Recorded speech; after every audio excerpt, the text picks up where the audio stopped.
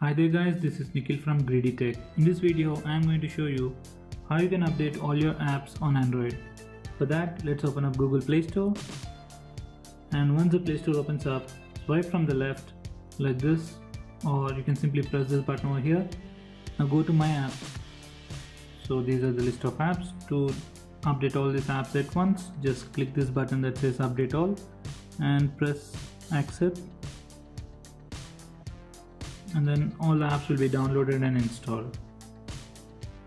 And to stop this update process at any time, just click on the stop button and the process will stop. So to update any individual app, just click on the app, say update and accept to update the app.